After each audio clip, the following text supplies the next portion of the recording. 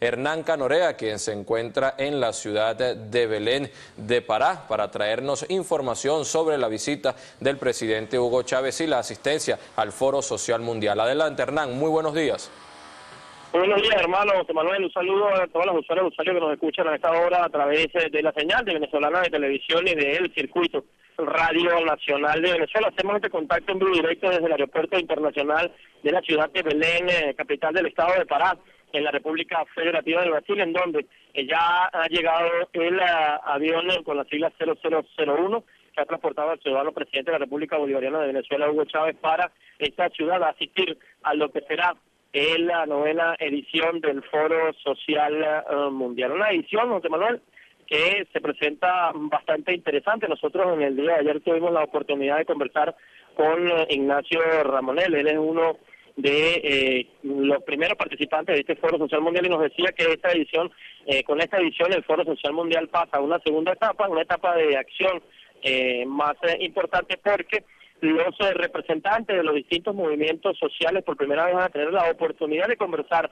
con cinco mandatarios que han llegado al poder por el apoyo y por la movilización de esos mismos movimientos sociales que han logrado que estos presidentes con tendencias progresistas hayan eh, directamente llegado al poder. Es por eso que el día de hoy va a haber un encuentro entre los movimientos sociales y los presidentes para discutir sobre las alternativas al modelo económico eh, capitalista que ha entrado en crisis, sobre las acciones a tomar por parte de los eh, distintos mandatarios y por supuesto para tener viene en cuenta todo lo que tiene que ver con las acciones. Bueno, presidente, ¿cómo está? Vivo para la Radio Nacional de Venezuela, Venezolana de Televisión en estos momentos. Coméntenos un poco su expectativa a la llegada a esta importantísima novela edición del Foro Social que va a tener la particularidad de que cinco presidentes van a interactuar con todos los movimientos sociales para hablar sobre otra alternativa. Primero que nada, muy alentador para nosotros estar de nuevo en esta tierra del Brasil, el norte, nordeste de Brasil, ¿no? Parte de la gran unidad continental suramericana. En segundo lugar, llegar a, de nuevo a Belén do Pará, aquí donde está la puerta de entrada. Mira, la Amazonía está ahí.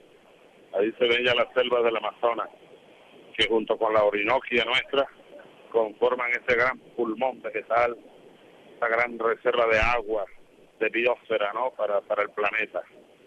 Me parece muy simbólico por eso que este año el, el noveno foro social eh, hayan acordado hacerlo en esta gran ciudad, en esta bella ciudad, en esta estratégica región, el norte de Brasil. Y luego, bueno, veníamos allí conversando, revisando papeles. El Foro Social en su novena edición eh, se instala como se ha instalado en el marco de una crisis mundial del modelo capitalista, modelo global, modelo globalizador está, está bueno, muriendo una nueva era puja. El foro social, eh, como dijo en una ocasión el subcomandante Marcos, eh, es como un nido de esperanza. En otra ocasión dijo Fidel, el foro social mundial eh, es, es, la manifestación de las fuerzas emergentes que se impondrán en el mundo. Lo dijo Ignacio Ramonet, que me acaba de entregar mi, ¿cómo se llama esto? Credencial de participante raso Aquí no hay jerarquía ni nada. Y aquí está mi, mi bolso de documentos. Le falta como un poquito un bolsito con agua, un perolito de agua. ¿Tú no cargas ahí? Me falta. Bueno. Eh, ¡Epa! ¿Qué hacen ustedes ahí?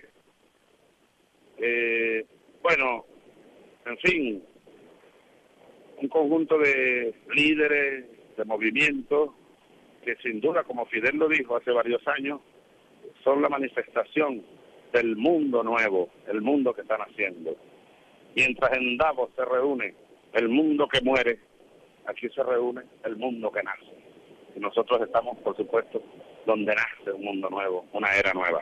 Presidente, con respecto a la, situación política que se está viviendo actualmente en Venezuela, precisamente Ignacio Ramones eh, nos comentaba ayer que los medios internacionales han estado dando a conocer el proceso de enmienda, el proyecto de enmienda, eh, digamos, contando la verdad solo la mitad de la verdad, como si eh, la enmienda sirviera solo para la postulación continua del presidente de la República y no para todos los, funcionarios elegidos por votación popular. Su posición al respecto.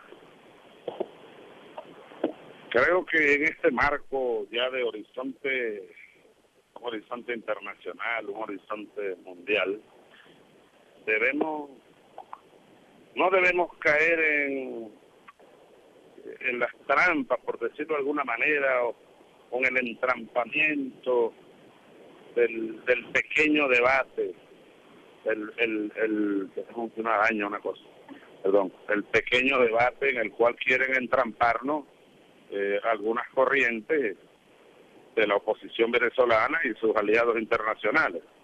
Yo más bien lo diría de esta manera, en América del Sur están haciendo también como parte de estos procesos una nueva doctrina constitucional.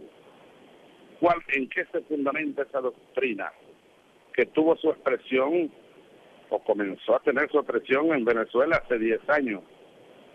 El próximo lunes se cumplirán 10 años exactos de un día no solo en que comenzó el gobierno revolucionario en Venezuela, sino el día aquel en que este soldado que les está hablando acá firmó un decreto. Habría que buscarlo. ¿Qué decía el decreto? Convocatoria a referéndum nacional. La convocatoria, perdón, a la voz de la nación.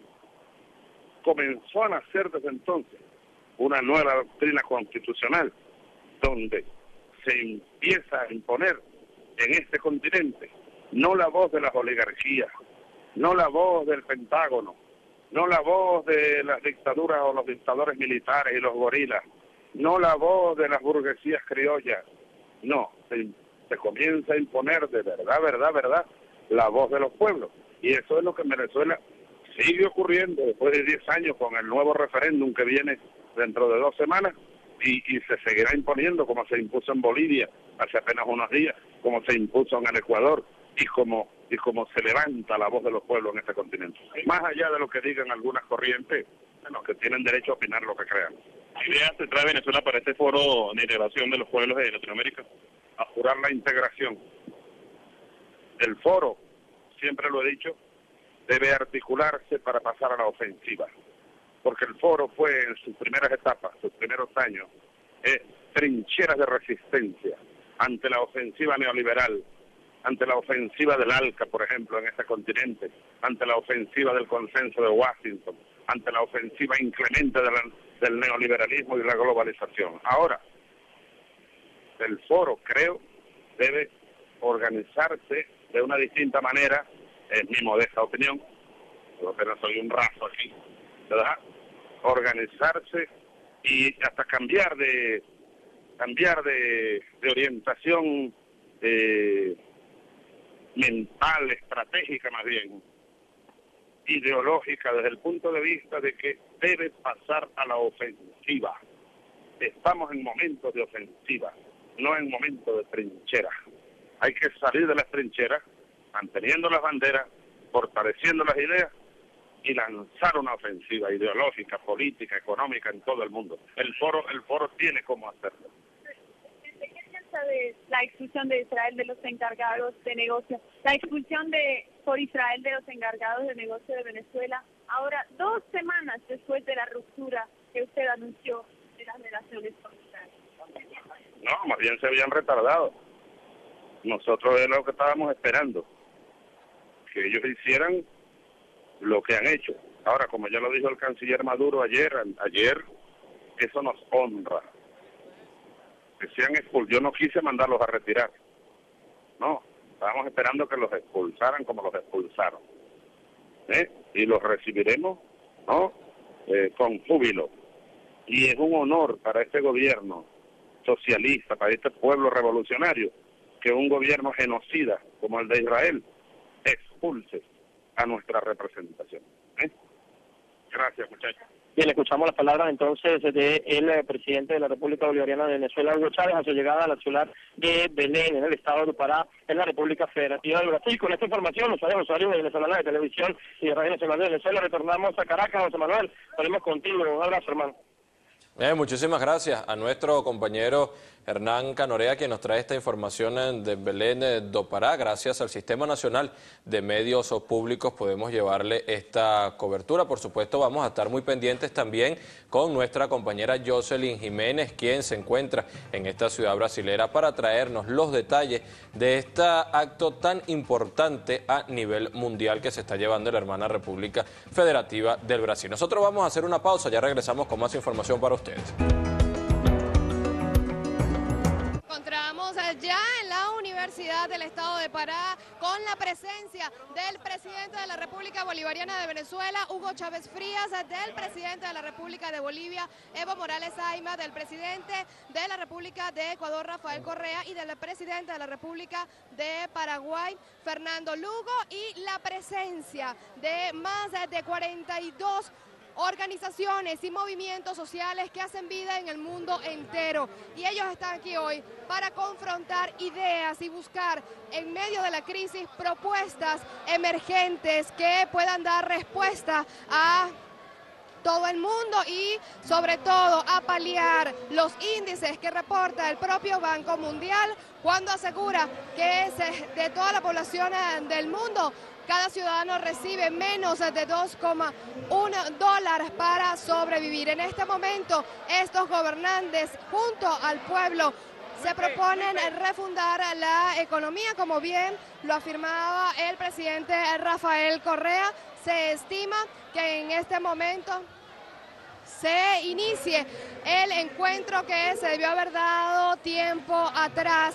Vemos pues una masiva presencia de los medios de comunicación internacionales, nacionales de Brasil y también de los medios oficiales del Estado venezolano. En este momento los mandatarios pues se van a dirigir. Antes hubo un compartir con la trova cubana y corearon pueblo y gobierno juntos las canciones de protesta que en años anteriores hacían referencia a las necesidades sociales que poco a poco han visto los pueblos eh, resarcidas de alguna manera con el nacimiento de los gobiernos emergentes. Acá se encuentran presentes entre las organizaciones sociales el Foro Mesoamericano, la Asamblea de los Pueblos del Caribe, la Asociación Americana de Juristas, la Coordinadora Continental de Nacionalidades y Pueblos Indígenas, Aviala, el Consejo Latinoamericano de Ciencias Sociales,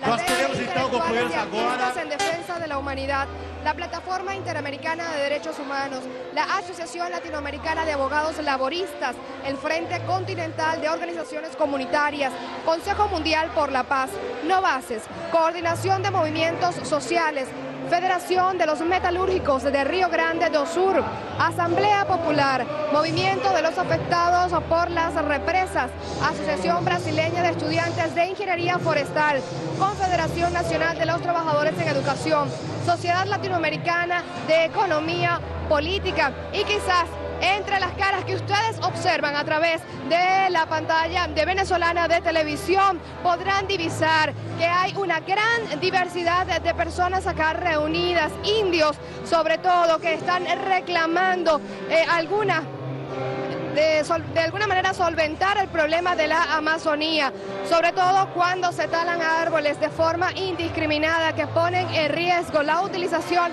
de los ah, recursos naturales y los espacios propiamente del medio ambiente. En este momento vemos cómo hay pues una inquietud por parte de los ah, que están acá presentes por saludar al presidente de la República Bolivariana de Venezuela, Hugo Chávez Fría. Ellos nos manifestaban en días anteriores que estaban esperando su presencia y así fue confirmada y hoy pues ya está presente. Vemos en este momento un grupo de música de Brasil que está llevando adelante un acto cultural para recibir a los jefes de Estado que han llegado, como bien lo decía también el presidente Rafael Correa, no solo a proponer, sino a presentar los adelantos que llevan en diferentes materias para favorecer al pueblo, sobre todo con la ejecución de economías más sustentables, lo que denomina el Foro Social Mundial que también se realiza en la ciudad de Berén, una, una vía de economía sustentable. nosotros podemos entonces informarles, como bien lo decía también el periodista y sociólogo Ignacio Ramonet, que en este momento se inicia una nueva etapa para el Foro Social Mundial. Este foro surge en el año 2001 como respuesta al Foro de Davos, donde se reunían los países más ricos del mundo y donde se dictaban algunas políticas económicas que llevaron pues a esta catástrofe, a la crisis mundial, a la crisis alimentaria. En este momento este foro cobra fuerza, sobre todo porque las propuestas que se han hecho durante estos años han cobrado validez. En este momento vemos cómo entonces a las movimientos sociales se sienten identificados con las propuestas que han tenido estos gobiernos emergentes en la región que han decidido, han elegido por estar acá presentes en el Foro Social Mundial. Recordemos que el Foro de Davos eh, que se realiza con la asistencia de los países más poderosos y los gobernantes más poderosos. Solo contó con la presencia de dos presidentes latinoamericanos, el presidente de Colombia Álvaro Uribe y el presidente de México Felipe Calderón. En este momento nosotros vemos eh, cómo en un lenguaje distinto, pero quizás con un mismo mensaje, se dirigen a los mandatarios para retomar idea a idea todo lo que significa la política. Vamos a escuchar.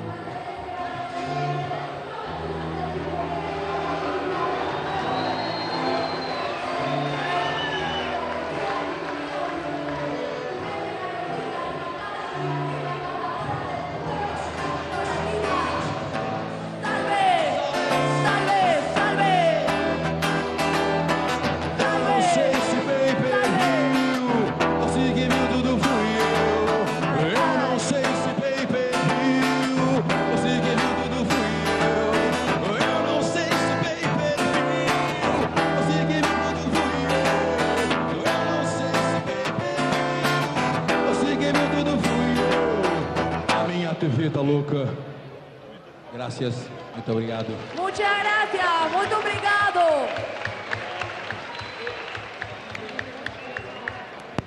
Continúan los actos previstos acá en la Universidad del Estado de Pará, donde también están presentes los jóvenes, no solo quienes han asistido al Foro Social Mundial, sino quienes también pertenecen a esta Casa de Educación Superior y podemos verlo allá en el fondo vitoreando Chávez, la lucha continúa, el pueblo unido jamás será vencido. Podemos recordar que también este acto se realiza en el marco de la celebración del triunfo del sí por la aprobación de la nueva Carta Magna de la República de Bolivia y justamente en el marco de una pugna electoral que se celebra en la República Bolivariana de Venezuela, toda vez que el próximo 15 de febrero se elegirá por la, eh, se optará por elegir la enmienda constitucional que de ser aprobada permitirá a los gobernantes locales y nacionales volver a postularse. Preguntaba el presidente de la República Bolivariana de Venezuela a qué sentirán eh, temor eh, quienes eh, se oponen a esta propuesta de enmienda y la respuesta pues ustedes la pueden ver en el plano internacional con estas imágenes que se presentan el día de hoy. El apoyo es absoluto a estos gobiernos que emergen con nuevas ideas. Vamos nosotros a continuar llevando para ustedes cada una de las actividades. En este momento se prevé realizar un acto representativo, una dramatización en torno a lo que representa la pobreza en el mundo. Justamente pues eh, vamos a escuchar, ellos necesitan escuchar a los mandatarios, vamos a, a tratar de... Bien, estamos tratando de tomar para ustedes el ambiente, recogerlo para que puedan disfrutarlos desde sus hogares.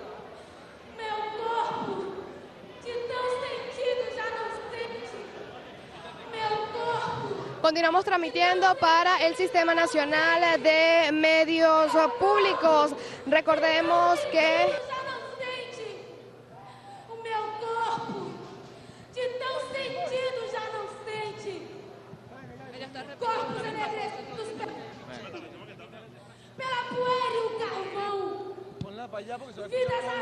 De la justicia en este momento para el mundo entero.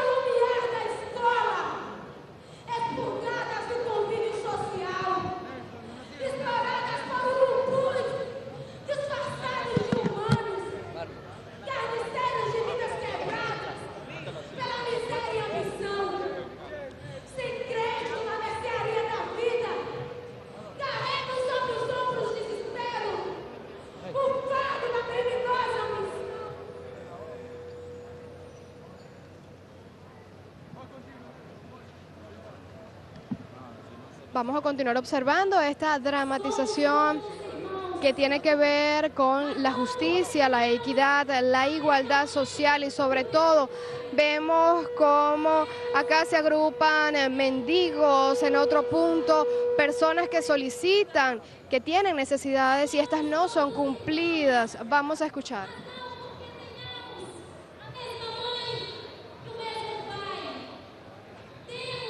Tenemos una pareja que nos, que nos engaña.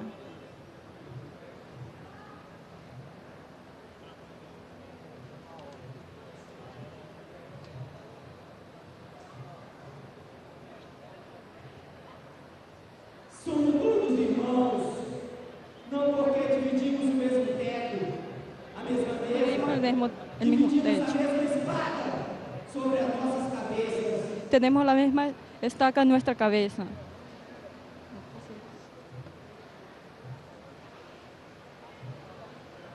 Somos todos irmãos, não porque tenhamos o mesmo berço, não porque tenhamos o mesmo sobrenome, temos o mesmo trajeto de sanha e fome.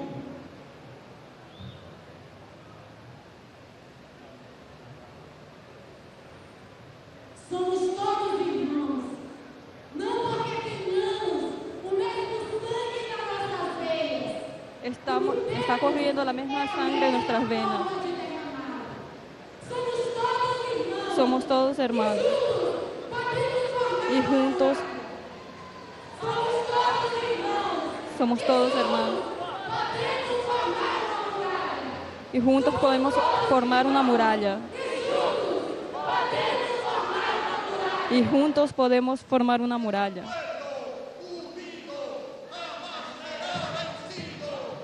Jamás pueblo unido jamás será vencido. cantar que vamos a triunfar. Avanzan ya banderas de unidad y tú vendrás marchando junto a mí y así verás tu canto y tu bandera florecer la luz de un rojo amanecer. Anuncia ya la vida que vendrá. De pie marchar que el pueblo va a triunfar. Será mejor la vida que vendrá. A conquistar nuestra felicidad y en un clamor voces de combate se alzarán dirán canción de libertad con decisión la patria vencerá. Y ahora el pueblo que se alza en la lucha con de gigante gritando adelante el pueblo unido jamás será vencido el pueblo unido jamás será vencido. El pueblo unido jamás será vencido. Y el patria está forjando la unidad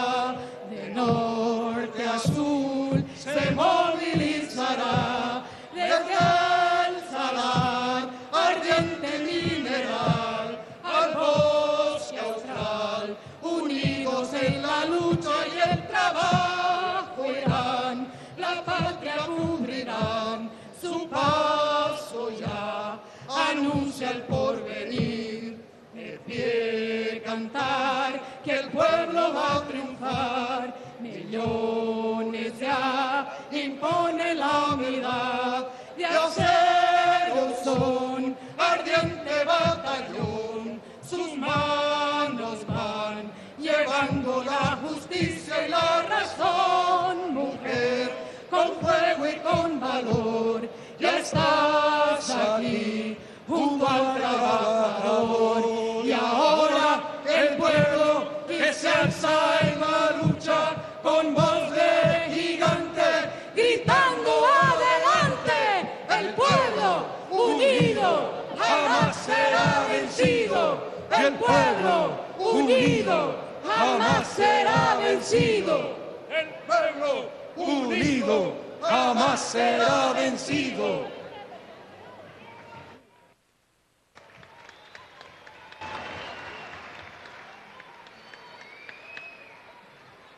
A revolução só se faz com o povo em luta e organizado. A revolução só se faz com o povo em luta e organizado. La revolución se- solamente sea con lucha y organización. Patria libre.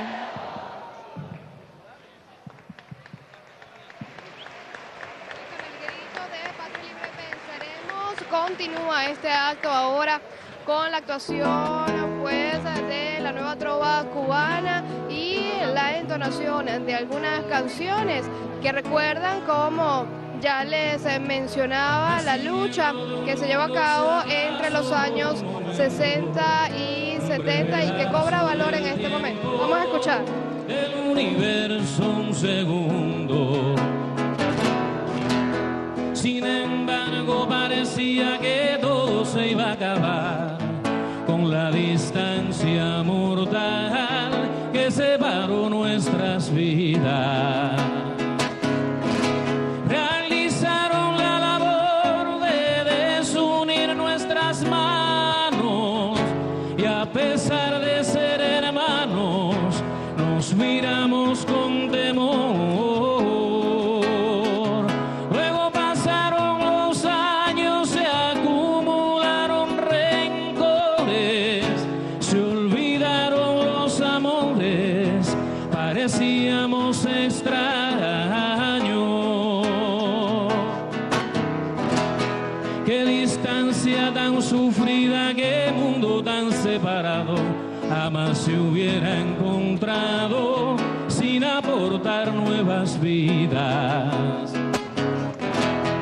Esclavo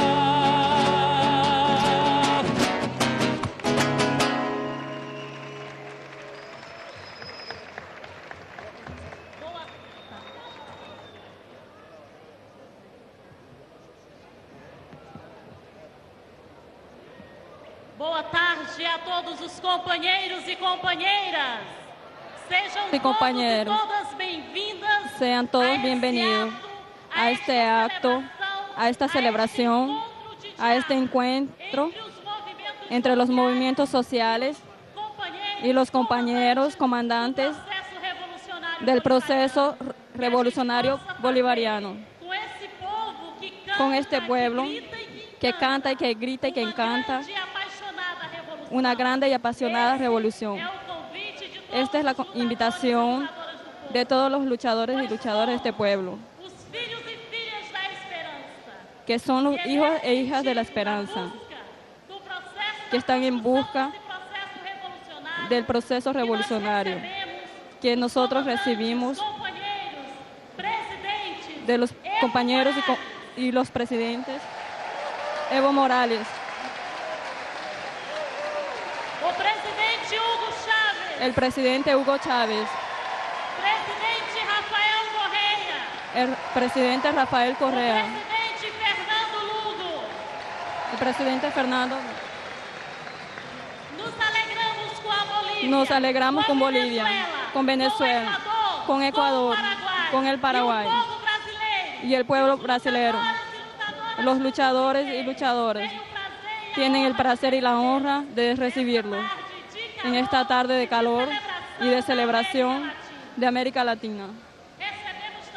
Recibimos también en nuestra mesa el comandante de la Frente de Libertación, el gobernador.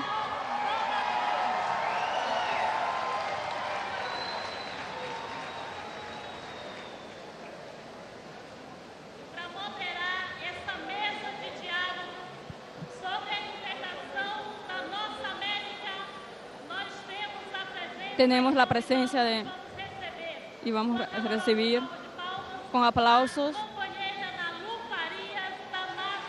la compañera Malú Farías y el compañero Pablo Michel de los trabajadores de la Argentina.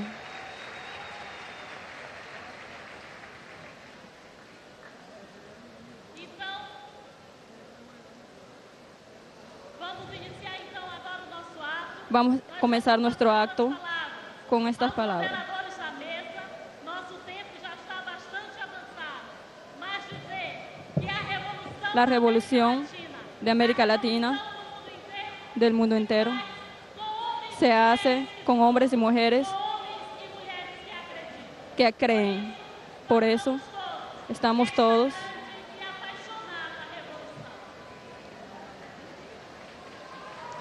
Boa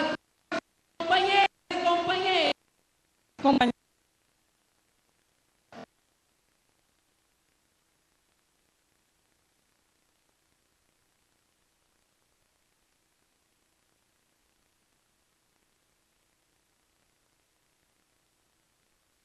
importancia de, de la integración para la integración del nuevo mundo no es solamente un, evento, es parte de un proceso que estamos construyendo en este momento de diálogo. Y en este momento es con los presidentes de América Latina. Y nuestro objetivo es justamente cuáles son nuestros próximos pasos para una agenda conjunta.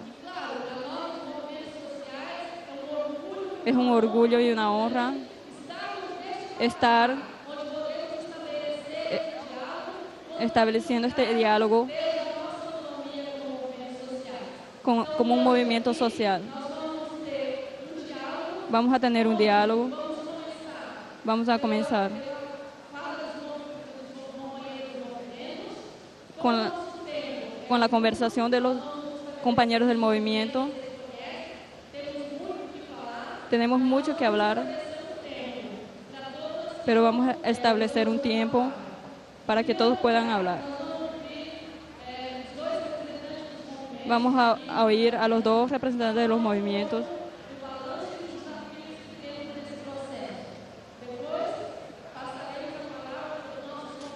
Después pasaremos la palabra a nuestros convidados y al final Juan Pedro Esteves hará una síntesis.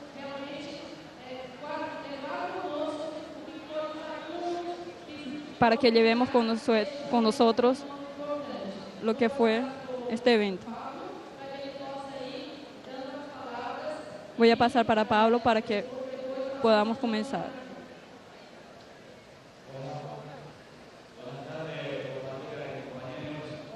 Gracias, Nalú.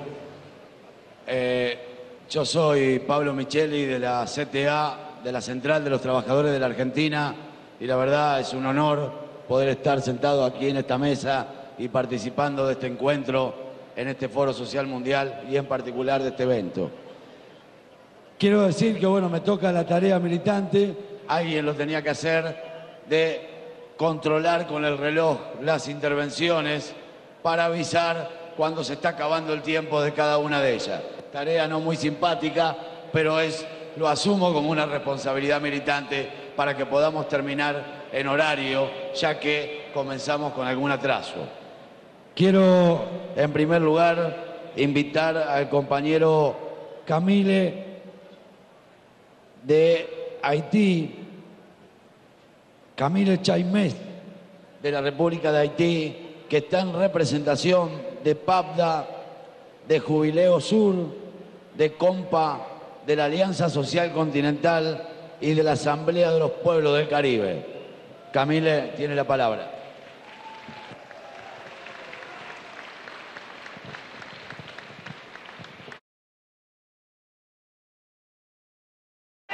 Y ya. Y a continuación, al mediodía, 12 horas, se va a realizar la Asamblea Mundial de los Movimientos Sociales en el mismo lugar. Para continuar y terminando con la palabra de nuestros compañeros presidentes convocados, no invitados, tengo el honor de, de presentar a el compañero presidente, comandante de la República Bolivariana, el compañero comandante Hugo Chávez.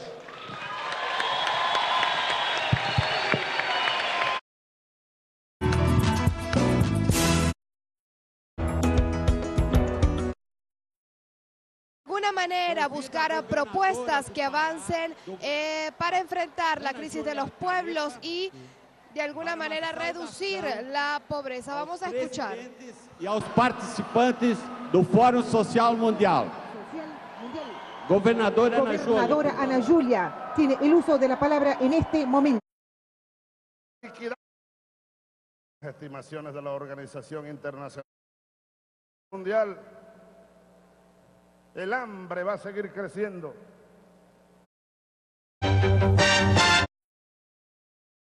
Que habían lanzado los diferentes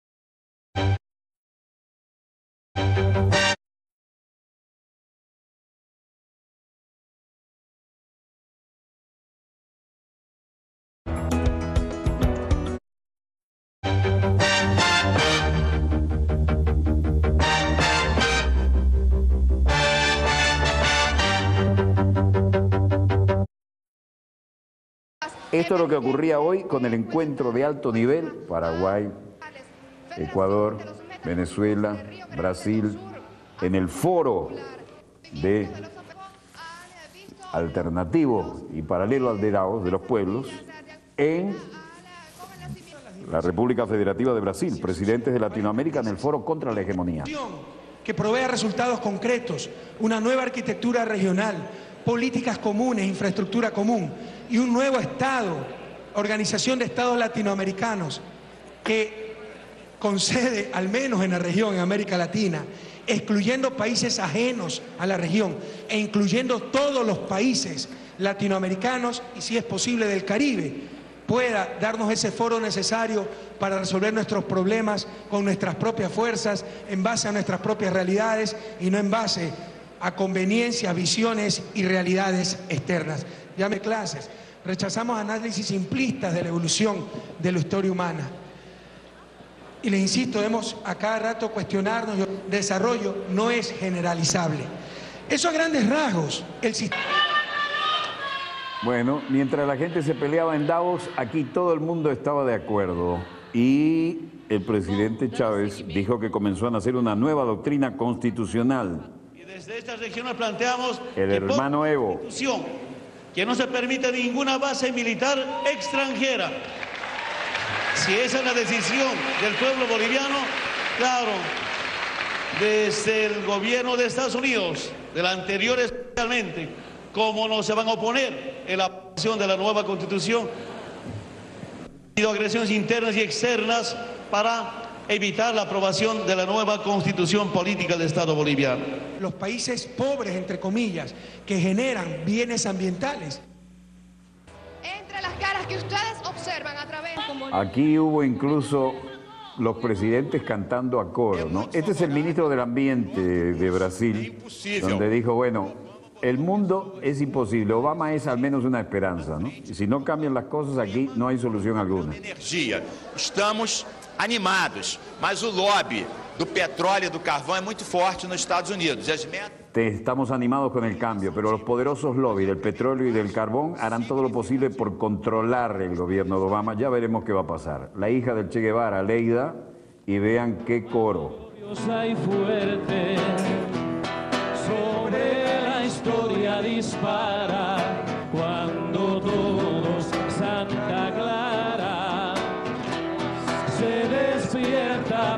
Y se suma a Leida Guevara March, la doctora Leida es la hija del Che.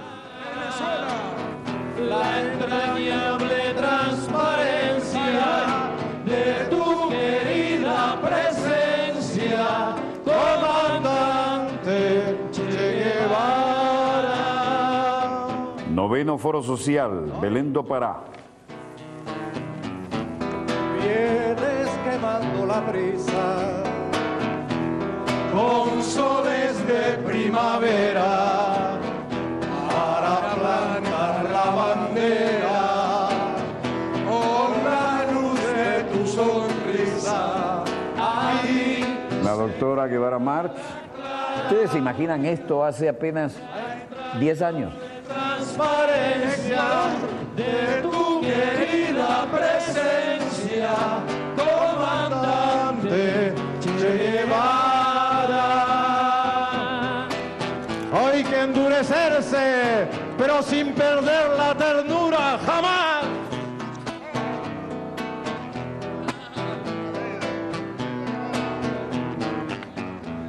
Tu amor revolucionario te conduce a nueva empresa donde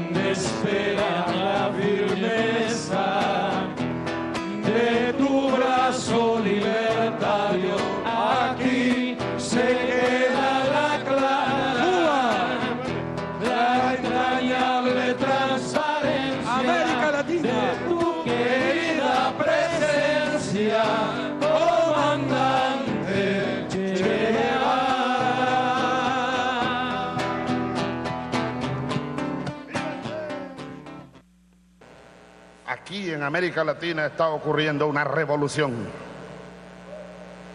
Una verdadera revolución. Y si algo yo pudiera pedirle a los movimientos sociales de nuestro continente es que cada día redoblen la ofensiva popular, la ofensiva para los cambios revolucionarios. Revoluciones ahora que ya no son, como Lula lo dijo hace poco también, ya no son columnas guerrilleras, no, es una nueva oleada revolucionaria, una época nueva, lo dice Rafael Correa. Tengamos conciencia de ello para apuntalar en profundidad los cambios estructurales. Hace 10 años comenzaron a brotar esos cambios con fuerza. Hace 10 años a Venezuela le correspondió en América Latina tomar la posición de vanguardia. Eso nadie lo planificó, eso solo ocurrió como producto de diversas circunstancias.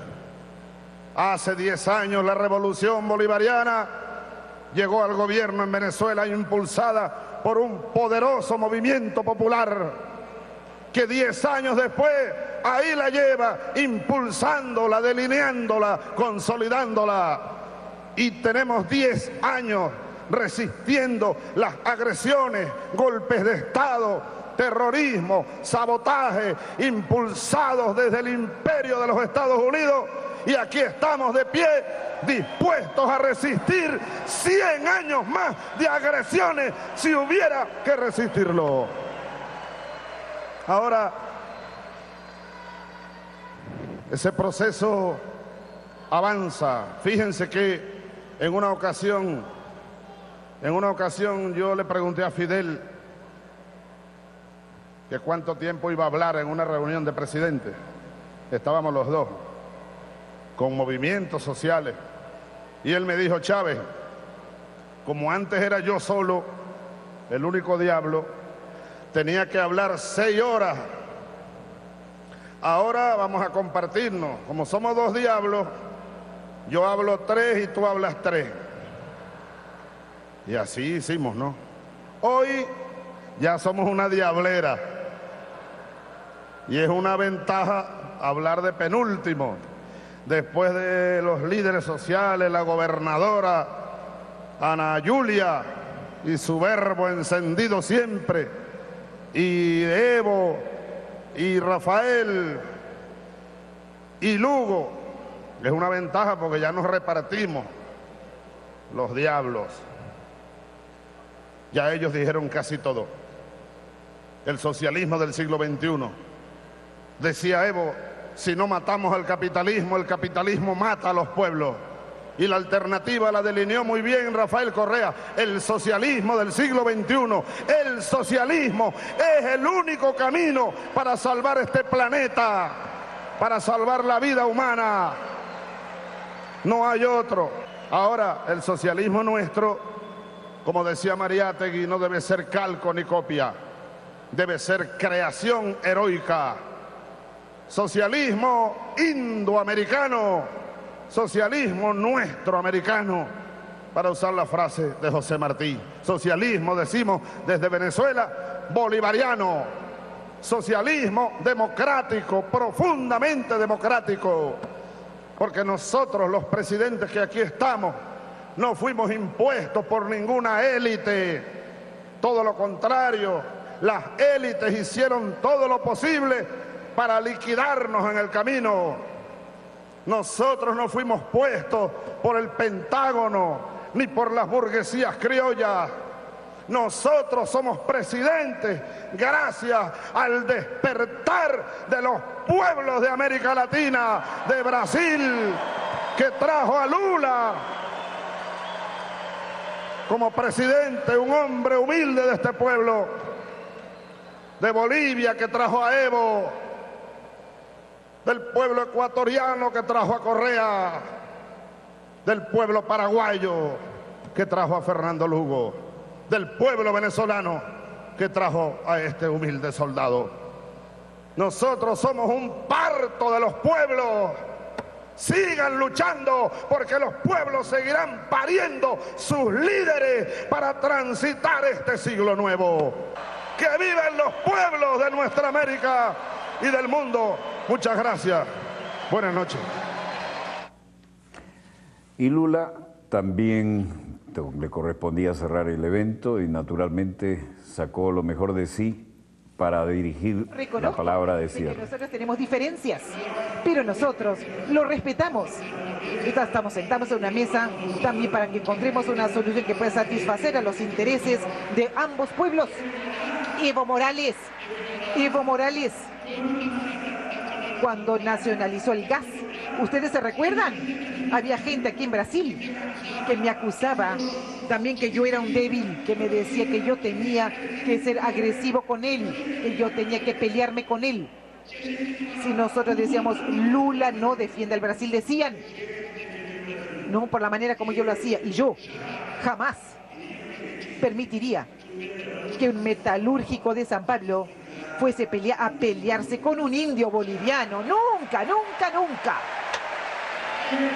Aquellos que vendieron discordia, aquellos que vendieron la discordia, saben que hoy día que nuestra relación, relación con Bolivia ha mejorado y mejoró muchísimo.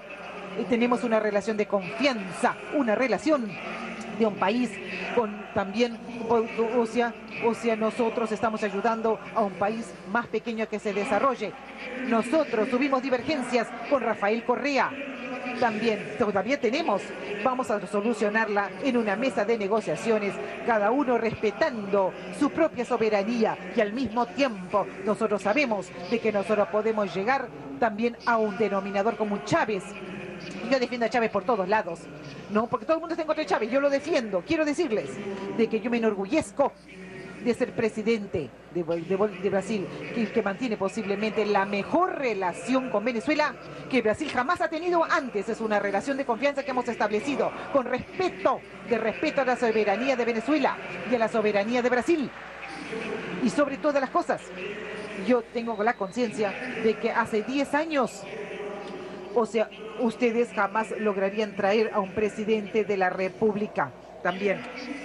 también o sea, tengo, yo estoy convencido, bueno, nadie, nadie, porque todos los antiguos presidentes tendrían miedo de tener aquí, o sea, de atraerlos, porque todos ustedes también están, mirando aquí al pueblo y dirían que ustedes eran también eran extraños para ellos. Aquí, no, aquí estamos nosotros, vean ustedes, para decirles aquí a todos ustedes que nosotros somos los presidentes y ustedes son los que dan la dirección con vuestros movimientos, aquello que nosotros tenemos que hacer para América Latina.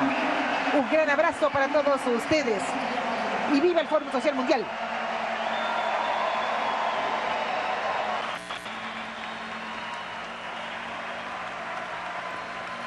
Bueno, en el escandalazo de Davos, esta es la alternativa de los pueblos y ciertamente este era un sueño increíble hace apenas unos años. Vamos al mapa para recordarles algo.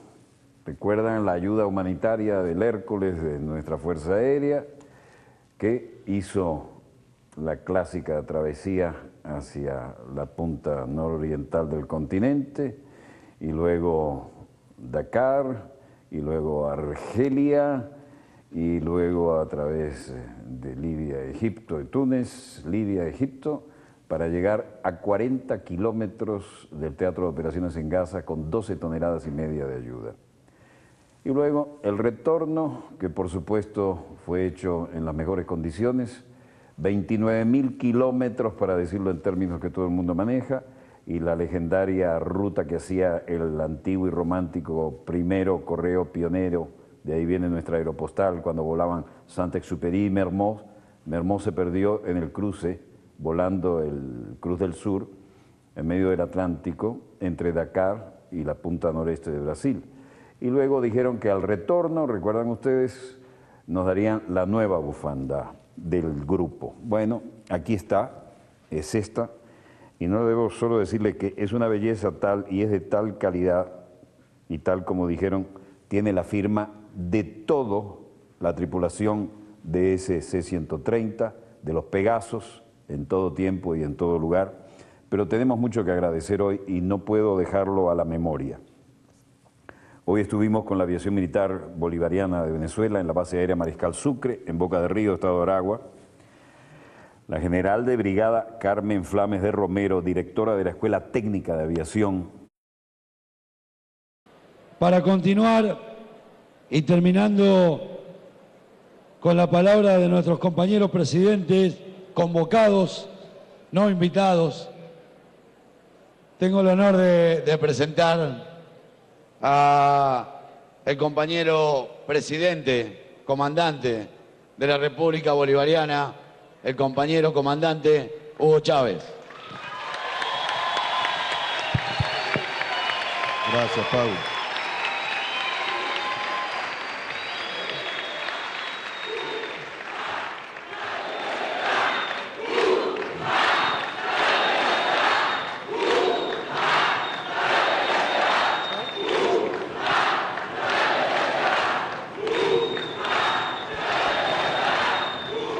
Buenas tardes, buenas tardes a todos y a todas. Muchas gracias, quiero darle a todos ustedes por habernos esperado aquí en este gimnasio, ¿no? Un gimnasio cubierto. Evo, ¿tú jugaste futbolito hoy? Evo todos los días juega fútbol. Todos los días. Y además juega por allá como a 5 mil metros de altura. ¿Eh? Ayer estaba Maradona por allá por, por Caracas. Diego Armando Maradona. Gracias por esperarnos, gracias por invitarnos, gracias a los organizadores, Joao Pedro, Joao Pedro Estedil y a todo lo que él representa y ustedes representan, Nalu Faría, Pablo Micheli, Camil Chalmers, gracias por tu palabra, el gobernador de Marañao, Jackson Lago. Gracias, Jackson. Bueno, saludamos a todos los compañeros, compañeras, a los presidentes, a Magdalena, Magdalena León, de las mujeres latinoamericanas, la red latinoamericana de mujeres, Rafael Correa.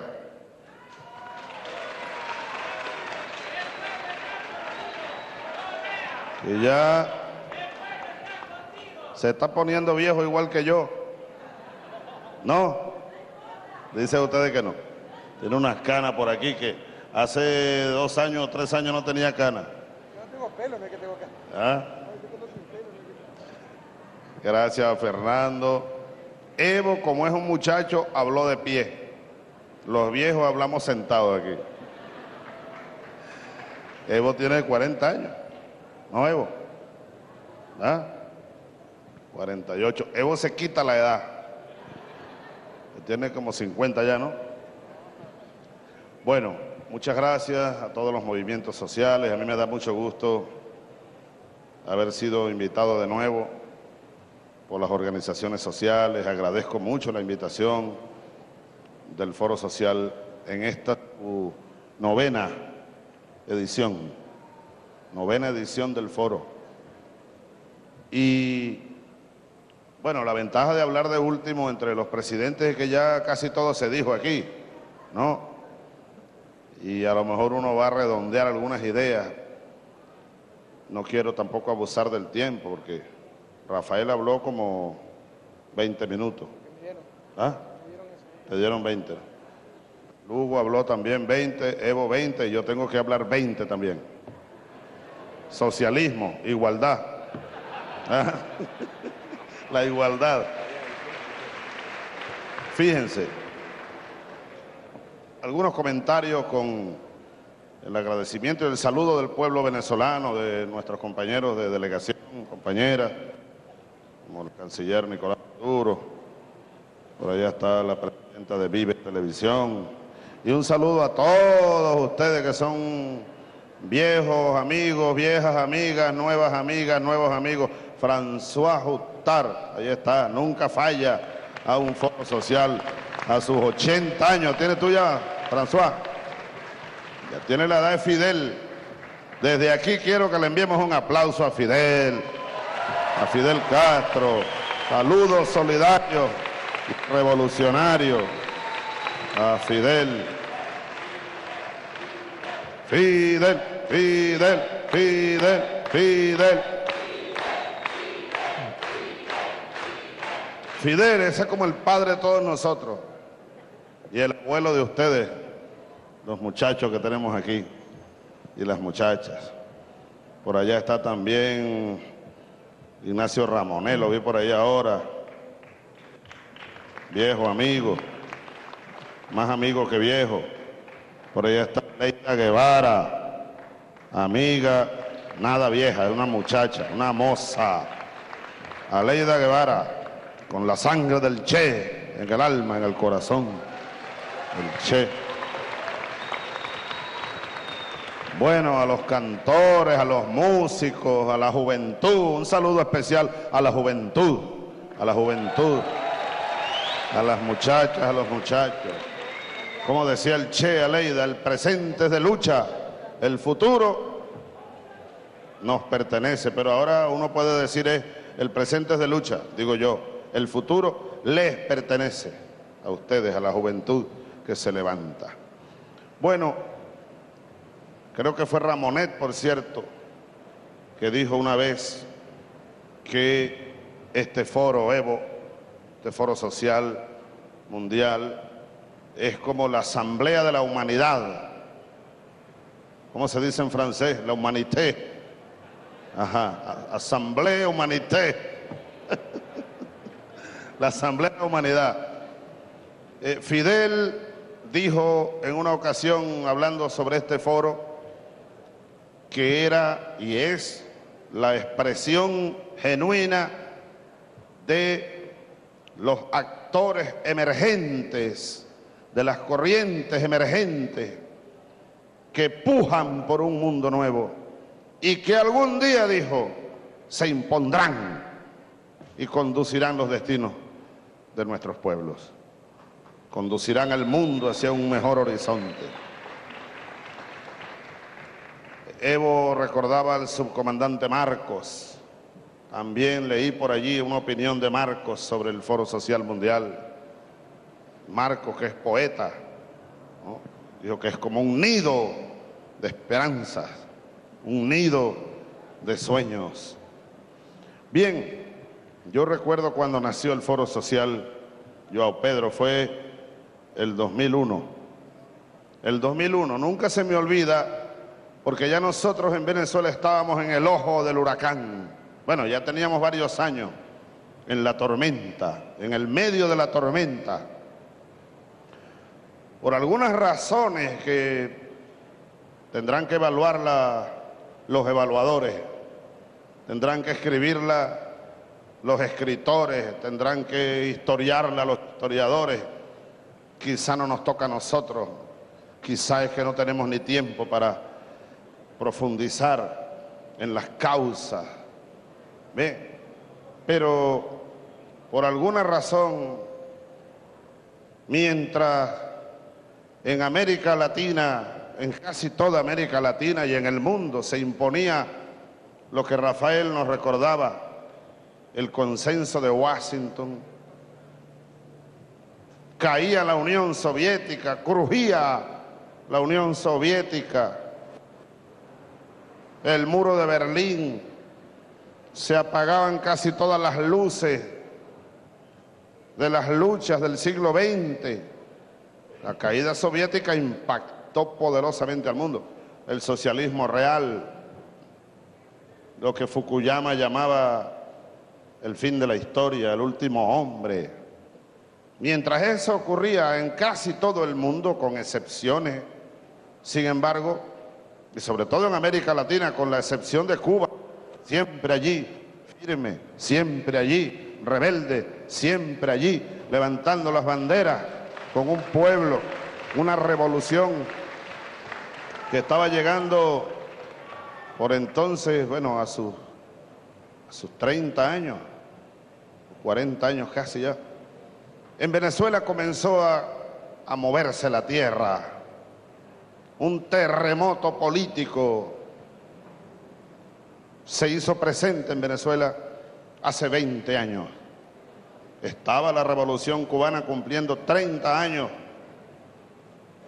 Recuerdo la primera vez que yo vi a Fidel Castro en persona fue en Caracas, por estos días de febrero, iniciando febrero, comienzos del año, de hace 20 años. Aleida. Hace 20 años Fidel Castro asistió a la toma de posesión de Carlos Andrés Pérez. Era febrero 1989. También vino con su uniforme de comandante guerrillero y de presidente Daniel Ortega.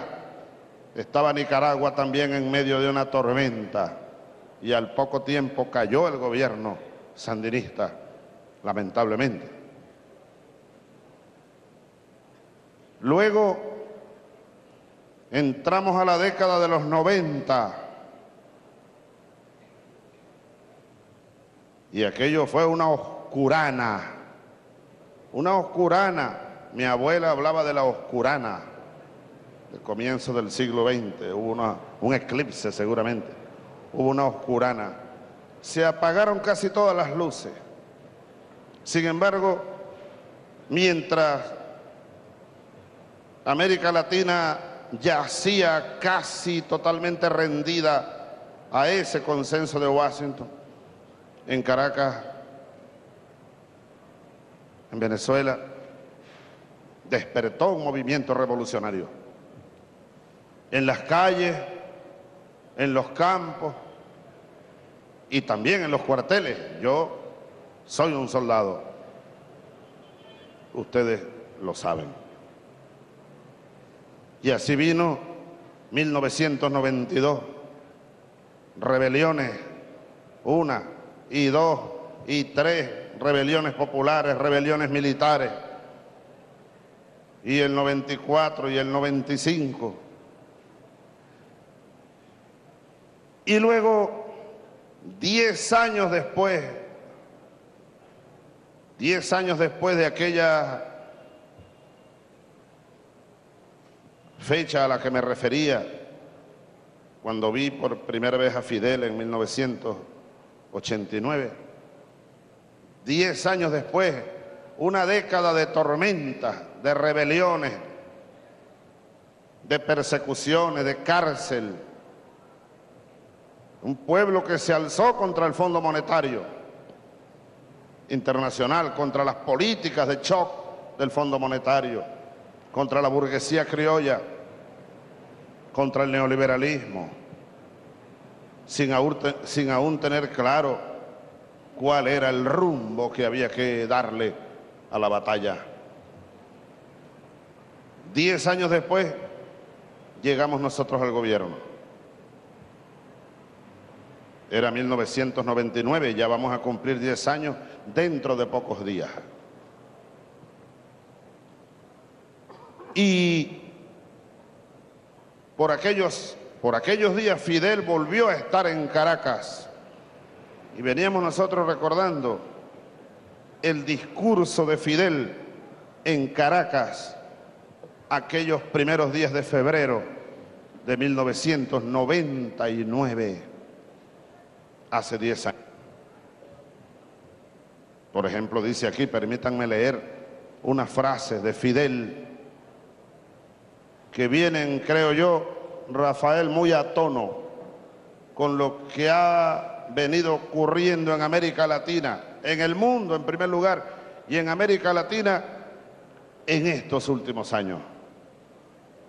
Acontecimientos que han permitido entre otras cosas, que por primera vez estén aquí cuatro diablos, populistas, diablos. Bueno, ahora no somos tan diablos porque está un obispo aquí entre nosotros. Aquí nos agarramos al obispo para salvar el alma. Nos faltaba un obispo y aquí está un cura, François. ¿Ve?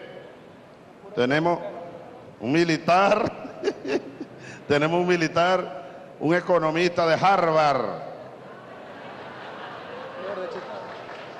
No, de, de Chicago, este es un Chicago Boy, pero que invirtió la lección. Un, economista socialista. Imagínense ustedes, y un indio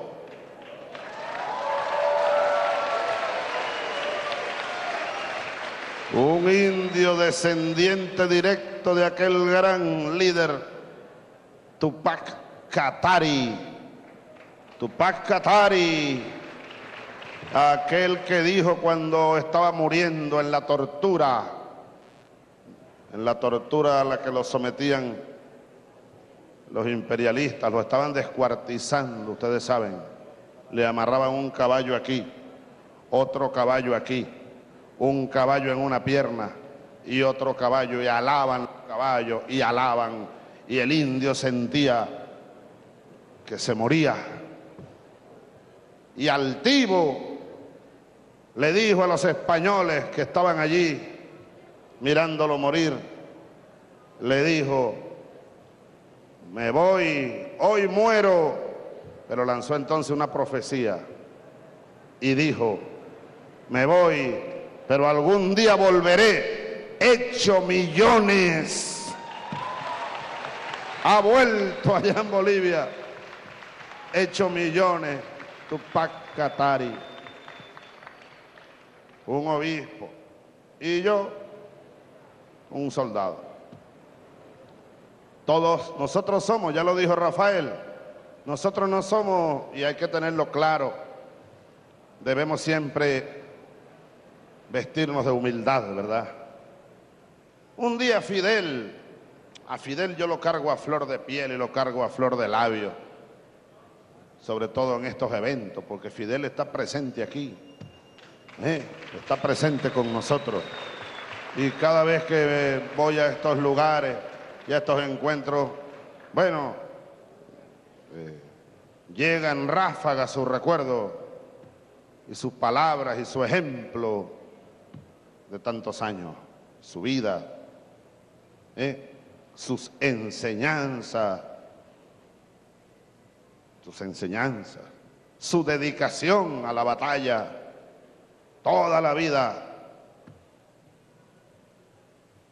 Hace poco recibí una nota de Fidel y me decía, porque él dice que yo, tienes que descansar, Chávez, terminaste una batalla y comienzas de una vez la otra, ¿por qué no descansas? Y al final me dice, bueno, ya me convencí de que el descanso para ti como para mí no existe, el descanso será la tumba.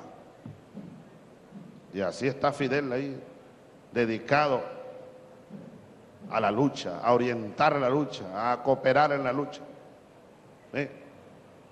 Pero en una ocasión él me preguntaba por teléfono, ¿qué andas haciendo después de un aló presidente un domingo?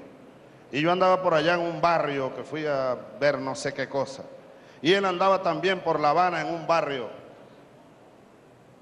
Y al final me dijo, bueno, lo que pasa es que tú ni yo no somos presidentes, Chávez. Y en verdad no somos presidentes. No somos. Uno es. Uno tiene una esencia. Mi esencia no es la de presidente. Y al final no somos sino unos tipos que andamos por ahí. Esa es la frase de Fidel. Somos unos tipos que andamos por ahí. Andamos por ahí. Y aunque algunos no quieran, seguiremos andando por ahí. Y yo creo que cada día seremos más tipos como nosotros. Pero nosotros somos apenas consecuencia. Ese proceso, esos procesos sociales a los que Evo ya se refería también, esa lucha de ustedes, de los que tienen más canas, de los que no tienen, de los más jóvenes, de las más jóvenes, esas luchas del pueblo venezolano, ah, me trajeron a mí aquí, esas luchas del pueblo ecuatoriano trajeron a Rafael Correa. Esas luchas infinitas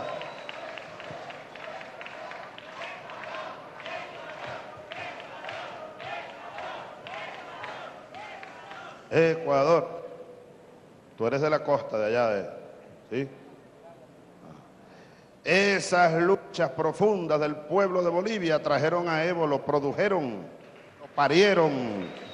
Y también a Lugo, al presidente Lugo, al amigo Fernando.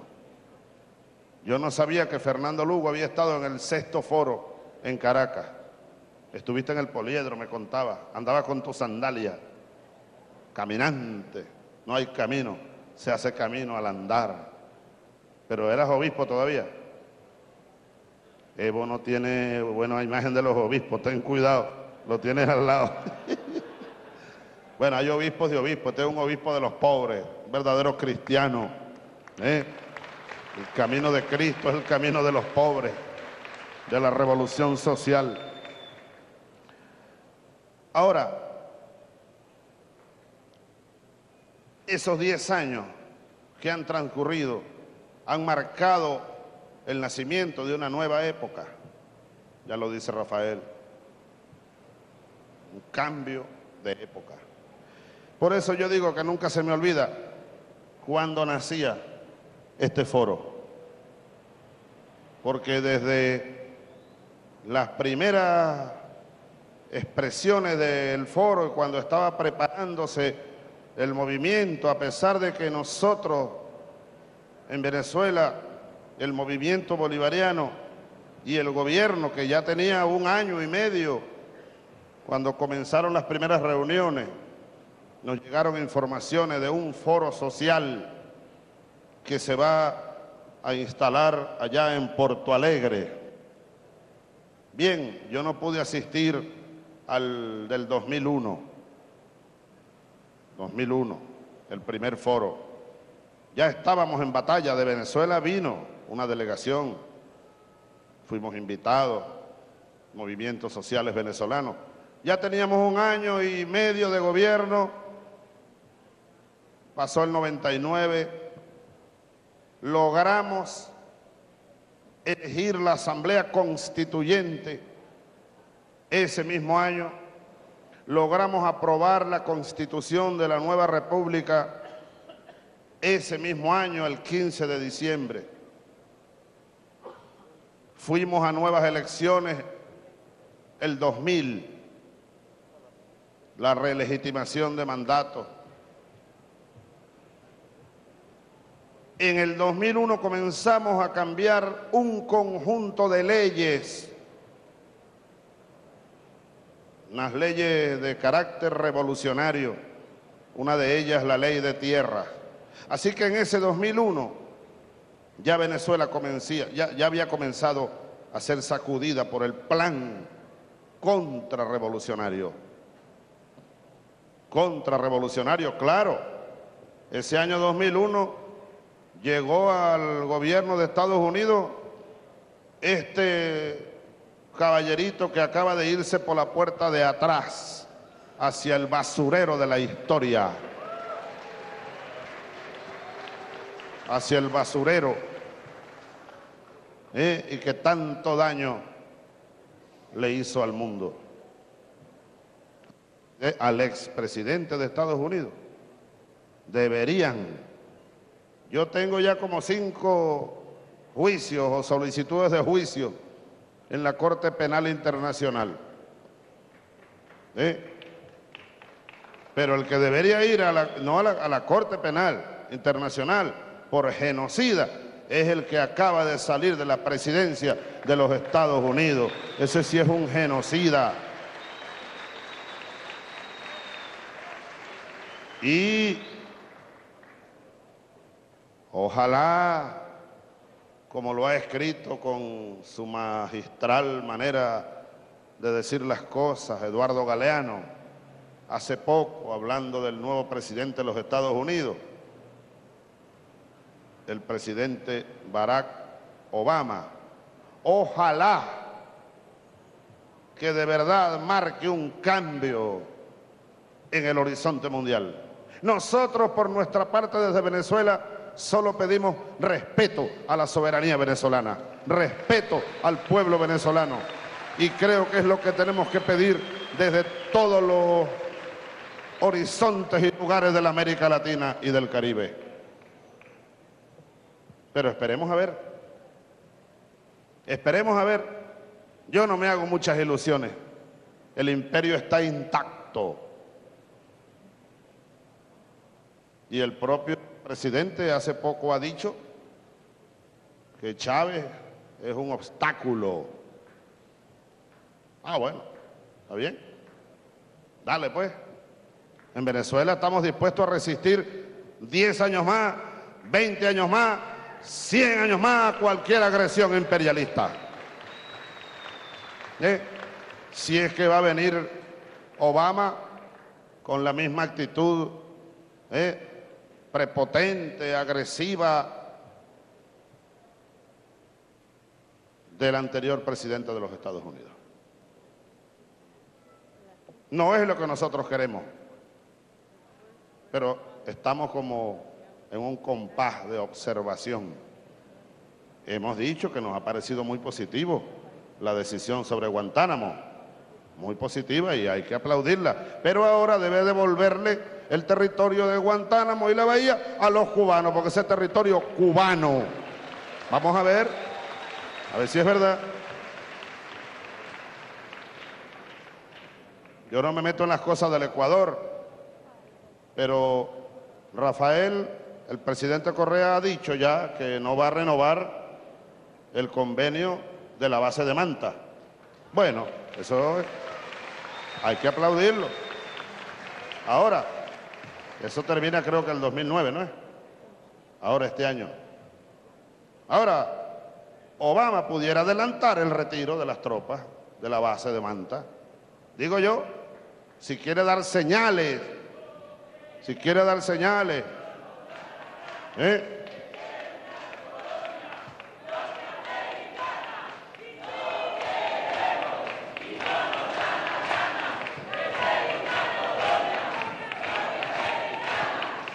Bien.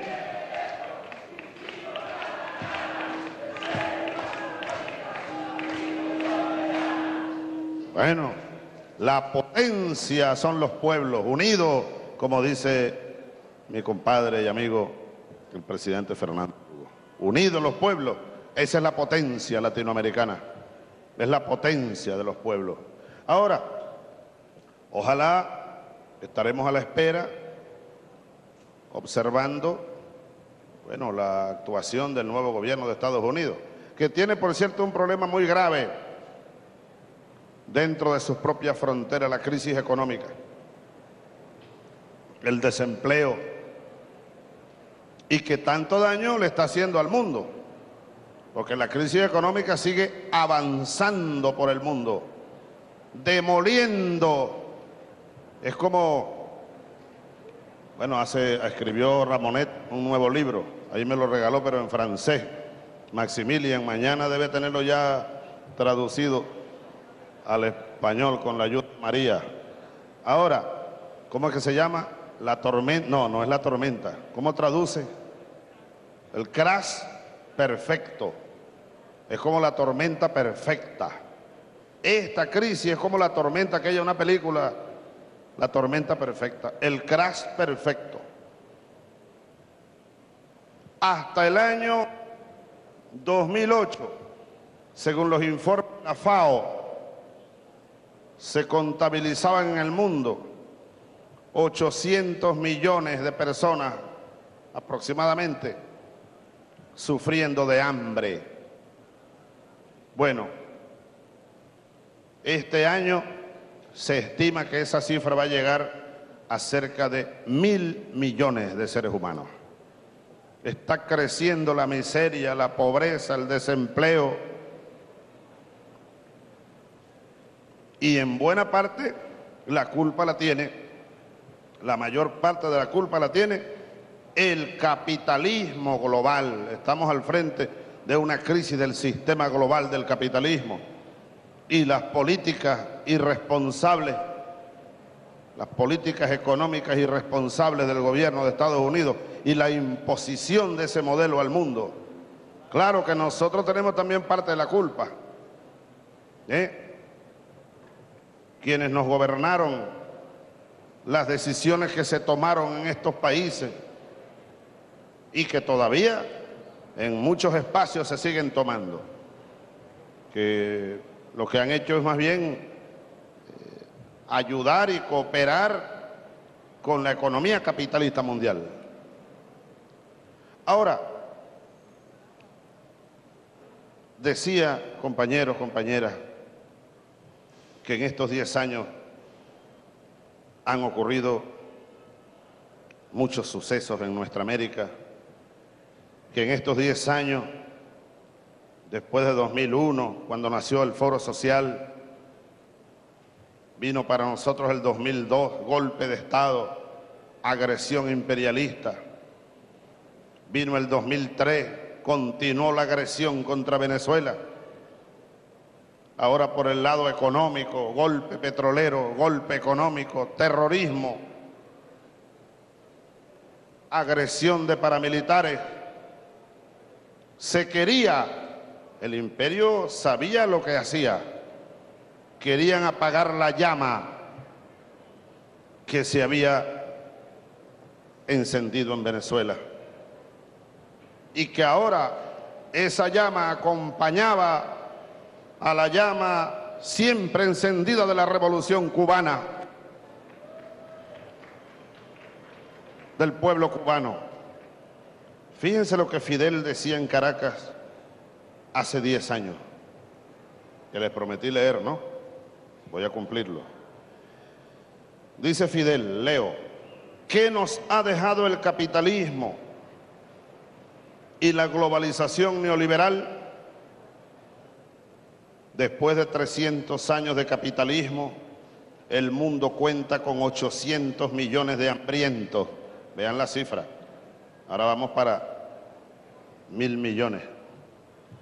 Ahora, en este momento, mil millones de analfabetos, cuatro mil millones de pobres, 250 millones de niños que trabajan regularmente, 130 millones sin acceso alguno a la educación, 100 millones que viven en la calle, 11 millones menores de 5 años que mueren cada año por desnutrición, pobreza y enfermedades prevenibles o curables, crecimiento constante de las diferencias entre ricos y pobres dentro de los países y entre los países, destrucción despiadada y casi irreversible de la naturaleza, despilfarro y agotamiento acelerado de importantes recursos no renovables, contaminación de la atmósfera, de los mantos freáticos, de los ríos y los mares, cambio de clima de impredecibles y ya visibles consecuencias. En el último siglo, más de mil millones de hectáreas de bosques vírgenes han desaparecido y una superficie similar se ha convertido en desiertos o en tierras degradadas. Pero más adelante Fidel entra luego de la crítica y el diagnóstico magistral, entra a analizar lo que comenzaba a ocurrir hace 10 años. Me parece muy importante que lo veamos, que lo apreciemos, que lo fijemos en el horizonte de nuestros análisis, para ver cómo es que llegamos aquí y cómo es que hay que continuar batallando para derrotar al capitalismo mundial y para que vaya instalándose, para que vayamos construyendo entre todos gobiernos populares, gobiernos revolucionarios, junto con los movimientos sociales, vayamos construyendo lo que ya Rafael, el presidente Correa, estaba delineando, nuestro socialismo. El socialismo es el único camino para la salvación de la humanidad, no hay otro. No hay una tercera vía, una vía intermedia, no. O el capitalismo que destroza la sociedad y la humanidad, o el socialismo. Por eso decimos y repetimos la que son los ecuatorianos. ¿eh?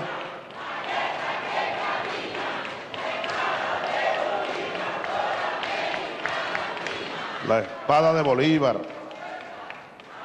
y la de Sucre y la de Alfaro y la de Artigas ¿eh? y la de Abreu de Lima.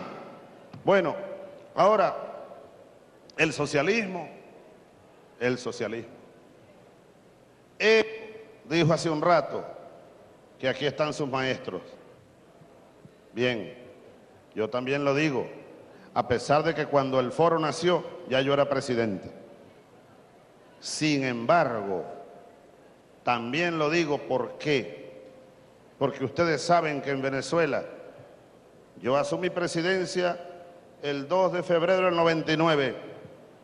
No se hablaba por ninguna parte de socialismo 99, 2000 tampoco, 2001 tampoco, 2002 tampoco. Fue precisamente, Nicolás, en el gigantiño, allá en el, el foro social en Porto Alegre, donde Hugo Chávez vino a decirle al mundo que la revolución venezolana tomaba el camino del socialismo. Así que yo aprendí mucho de este foro y seguimos aprendiendo y seguiremos aprendiendo mucho, como dijo Evo, de ustedes, maestros, maestras, inspiradores, los pueblos, los pueblos, los movimientos populares, los movimientos sociales, los intelectuales, los escritores, los cantores, las mujeres. Vaya mi reconocimiento especial a las mujeres que alientan la lucha de nuestros pueblos. Uno va evolucionando, Rafael, en el pensamiento. Yo ahora me he declarado feminista. Soy feminista. Y digo más, creo con todo respeto que un verdadero socialista tiene que ser feminista. Si no, algo le falla. Algo le falla. ¿Tú eres feminista, Rafael? También. Profundamente. Él, la igualdad de género. Simón Bolívar era un gran feminista. Y más cuando conoció a la Manuela. Manuela Sáenz, la libertadora del libertador, como le llamaba Neruda, la rosa roja insepulta, la insepulta bravía, la generala, la ascendió Rafael a generala, Manuela Sáenz. Y, es que es así, es la continuación de la batalla. Es muy significativo que Rafael Correa haya ascendido post-mortem, obviamente, a Manuela Sáenz a generala. Ustedes saben quién ascendió a Manuela Sáenz a capitana José de San Martín, porque ella era parte de los ejércitos del sur. Y ustedes saben quién ascendió a Manuela Sáenz a coronela, el mariscal de América, Antonio José de Sucre, en el campo de batalla de Ayacucho, porque ahí peleó Manuela Sáenz. Es la línea, es la continuación de la misma batalla de Sucre, de Bolívar, de Tupac Katari, de Solano, de Solano López. Francia. Francia fue maltratado un poco, ¿verdad? Bolívar tuvo, Bolívar tuvo sus diferencias con Francia, pero fue el forjador del Paraguay. Forjador, ¿eh? solo que preso allá a unos europeos y Bolívar quería ir a liberarlos. Amenazó con que si no los liberaban, él mismo iba a ir a... Bueno, ahora vuelvo a colocar la línea de pensamiento en el ambiente, en la que estoy insistiendo y quizá ese va a ser mi modesto aporte esta tarde. Mirar estos 10 años y mirar los 10 que vienen, los 20 que vienen, porque para allá vamos. Yo esta mañana lo dije, allá llegando al aeropuerto al mediodía, aquí muy felices de estar de nuevo en Belén do Pará, esta tierra mágica, ahí mismo está la Amazonia, y más allá la Orinoquia y el Caribe, y más allá todo este gran continente suramericano y su magia. Yo creo que ya nosotros no solo debemos decir un mundo nuevo es posible. No. Como dicen en portugués, dicen un otro mundo. No, es posible. Un mundo nuevo es posible. No, yo creo que como alguien acuñó, habría que agregar también un nuevo mundo es necesario, no solo posible, es necesario. Pero yo me atrevería a agregar algo con cierta dosis de audacia pero creo que no estoy exagerando ni estoy fuera de la verdad. Un nuevo mundo es posible. Un nuevo mundo es necesario. Y un nuevo mundo está naciendo. El que quiera verlo, venga aquí a América del Sur, venga a América Latina, venga al Caribe para que vea un mundo nuevo que está naciendo aquí. Ahora estamos obligados a cuidarlo como un bebé. Es como un bebé que apenas da los primeros pasos, si acaso. En este continente está naciendo un nuevo mundo. Dicen que Simón Bolívar dijo cuando llegó al Cusco con Simón Rodríguez, Manuela, Sucre y muchos más, miles y miles de hombres y mujeres, dijo, la utopía, la utopía de Tomás Moro está aquí en Sudamérica. Yo creo que eso sigue siendo hoy más que ayer una gran verdad. Aquí está la utopía de un mundo nuevo, de un mundo mejor y además está convirtiéndose en realidad. Es posible y aquí creo que lo hemos comenzado a demostrar. En Venezuela, por ejemplo, con tantos errores, como dice Evo, uno podrá cometer errores, deficiencias del proceso revolucionario. En Cuba, en Cuba, por ejemplo, la mortalidad infantil ya está llegando a a 4 por mil. ¿Ah? ¿Qué dice Aleida? Me está diciendo algo, pero no la oigo. Aleida, que está bien empapada de toda esa cifra. Pero está por ahí por cuatro, ¿verdad, Aleida? Cuatro por mil. Bueno, en Venezuela, la mortalidad infantil hace 10 años era de 21,5, casi 22 niños que morían antes de cumplir un año habiendo nacido vivos. 21. Ahora, hay países aquí en América Latina en, con cinco. ¿Me pasé ya? ¿Sí? Sí, Bueno. sí, presidente. ¿Qué sí. hora es? Pasó 20 minutos. Entonces, termino en dos minutos, prometo. ¿Eh? Ya nosotros vamos, por ejemplo, de 21,5, vamos en 13, 14, bajando la mortalidad infantil. Estamos lejos de la meta, pero tenemos apenas 10 años dando una batalla contra una herencia terrible de desigualdad, analfabetismo. En Venezuela teníamos casi 2 millones de analfabetas hace 10 años. Hoy somos, igual que Cuba y que Bolivia, territorio libre de analfabetismo. ¿Eh? Y Ecuador va por el mismo camino y Paraguay también. Solo para poner dos ejemplos porque no hay tiempo. Pero el mundo nuevo está naciendo. Ahora, cuidémoslo. Cuidémoslo desde los gobiernos, desde los pueblos. Nosotros uniéndonos, uniéndonos y fortaleciendo los espacios nuevos, hemos propuesto en América Latina el ALBA. El ALBA nació como una travesura contra el ALCA, el ALBA.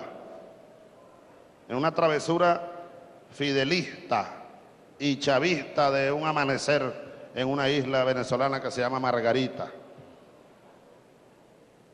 Era el 2001, por cierto, diciembre de 2001. Nació la idea del ALBA, Alternativa Bolivariana para Nuestra América, y ya allí estamos Bolivia, Nicaragua, Cuba, Venezuela, Honduras, Dominica, Ecuador en vía de incorporación. Hemos invitado a Paraguay, cada quien va con sus propios ritmos. Ecuador, al alba, Ecuador, al alba. al alba. Bueno, Ecuador es un país observador. Hemos invitado a Paraguay. Uruguay es un país observador del ALBA. Hay países del Caribe, anglófono. Haití es observador del ALBA. Haití, San Vicente de las Granadinas, San Kitts y Nevis, Antigua y Barbuda.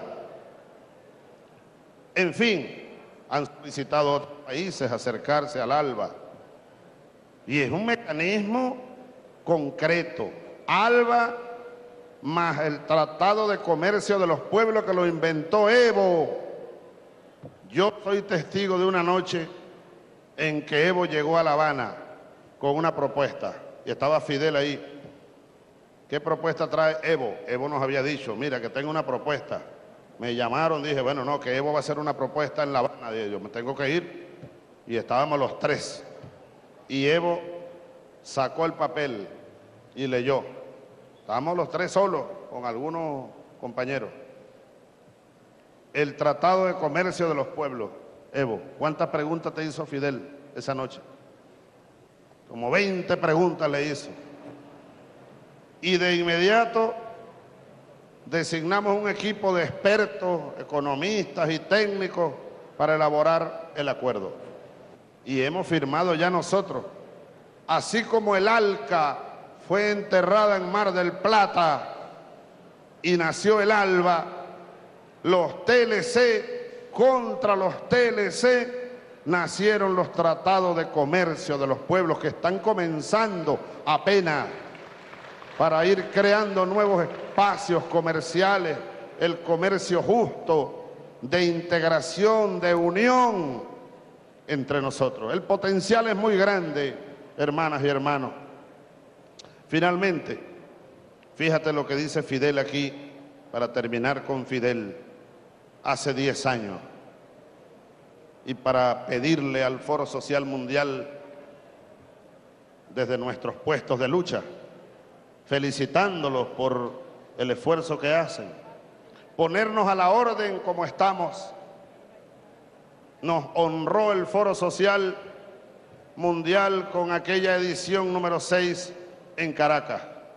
Nosotros estamos a la orden y estaríamos encantados de organizar alguna actividad y dos y diez y cuantas haya que organizar en Venezuela del Foro Social Mundial pero para pedirles que ahora, si hace casi 10 años nació este foro, tuvieron ustedes la osadía de parirlo en medio de la oscurana, cuando el mundo parecía que se hundía, cuando parecía que no había esperanza, con más razones.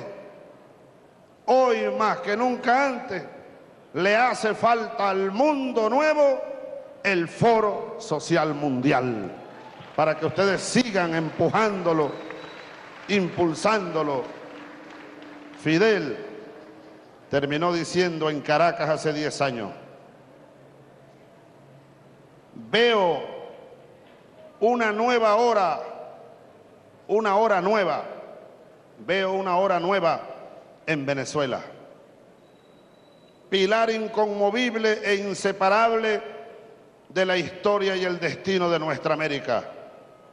Uno tiene derecho a confiar en la experiencia o en su punto de vista, no porque seamos infalibles ni mucho menos, o porque no hayamos cometido errores, sino porque hemos tenido la oportunidad de estudiar en el largo curso de una academia de 40 años de revolución, estaba diciendo Fidel hace 10 años. Y sigo diciendo, por eso les expresé que ustedes no tienen una situación catastrófica, ni mucho menos, aunque sí una situación económica difícil que entraña riesgos para esa oportunidad que a nosotros nos parece, nos parece estar viendo. Se han dado algunas casualidades que impresionan, sigue diciendo Fidel. Ha venido a producirse esta situación de Venezuela en el momento crítico de la integración de América Latina un momento especial en que los que están más al sur, fíjate Lugo lo que dice Fidel, un momento especial en que los que están más al sur en su esfuerzo unitario necesitan la ayuda de los del norte de Sudamérica, es decir, necesitan la ayuda de ustedes, le está hablando a los venezolanos. Ha llegado en el momento en que el Caribe necesita de ustedes. Ha llegado en el momento en que ustedes pueden ser el enlace, el puente, la bisagra, como quieran llamarlo, a un puente de acero entre el Caribe, Centroamérica y Suramérica. Nadie está en las condiciones de ustedes para luchar por algo tan importante y prioritario en este instante difícil, por la unión, la integración, digamos, por la supervivencia, si quieren, no solo de Venezuela, sino de todos los países de nuestra cultura, de nuestra lengua, de nuestra lengua y de nuestra raza. Y terminó diciendo, hoy más que nunca hay que ser bolivarianos, hoy más que nunca hay que levantar esa bandera de que patria es humanidad, consciente de que solo podemos salvarnos si la humanidad se salva. Que viva el Foro Social Mundial, que vivan los pueblos, que viva el socialismo, patria, socialismo o muerte, venceremos. Básicamente los compromisos acordados co- por los jefes de Estado con los ah, líderes eh, sociales que se encuentran presentes radican en respuestas ante números que asombran de la FAO en cuanto a muertes eh, por hambre, hambre, pobreza y analfabetismo. Hemos escuchado pues al presidente Hugo Chávez afirmar que el socialismo del siglo XXI se debe afianzar, cosa que ha también respaldado el presidente de Ecuador, Rafael Correa. Hemos escuchado por parte del presidente de Paraguay, Fernando Lugo, exigir que se sensibilicen los tratados, los acuerdos entre los países para que haya un reconocimiento genuino de la integración. Por otra parte, el presidente Evo Morales ha simplemente sintetizado el compromiso hablando que se debe trabajar por la soberanía, la humanidad y la vida. Vamos a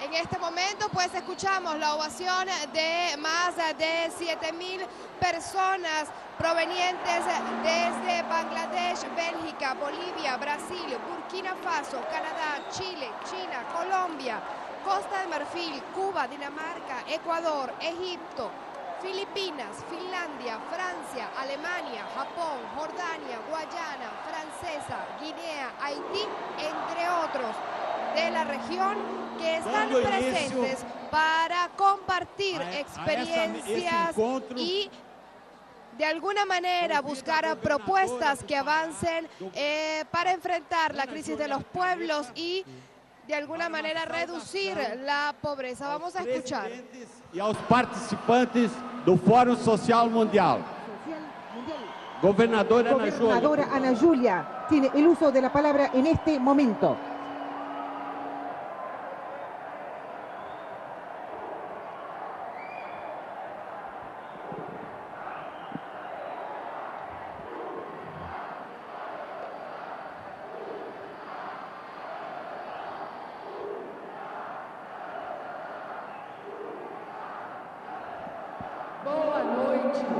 Buenas noches. Quiero pedirles permiso. Les pido permiso a las autoridades para poder saludar en mi nombre, en nombre del pueblo de Pará, en nombre del alcalde de Belén, Lucio Mar Costa. Quiero saludar También, en primer lugar, aquellas y aquellos que son las mayores autoridades. El pueblo, el buenas noches, pueblo de Belén, de Pará y de Brasil y del mundo. Saludo al pueblo en primer lugar. Presidente Lula. Señor Hugo Chávez, presidente de Venezuela. Presidente de Paraguay, Fernando Lugo. Rafael Correa, presidente del Ecuador. Evo Morales, presidente de Bolivia. Quiero, en nombre, en sus nombres, saludar a las autoridades de la mesa. En nombre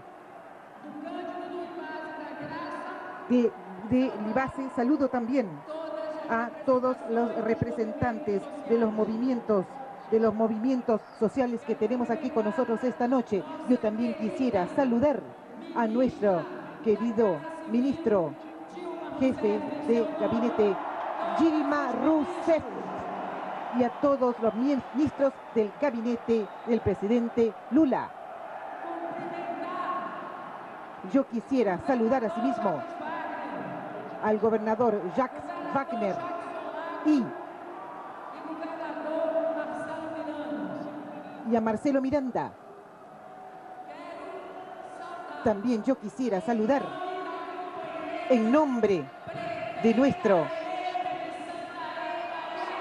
de Santarén, María de Carmo, a todos los alcaldes y también y que ellos que querían era defender eh, también también el examen público para los, eh, los, eh, los, los empleados públicos. Usted es la verdadera alcaldesa de Santarén.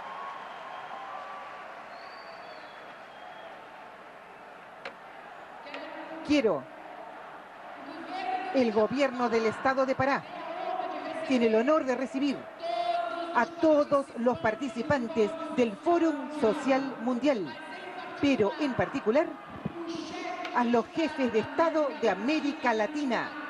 Están aquí con nosotros a la entrada del portal de la Amazonía brasileña que abraza Belén de Pará.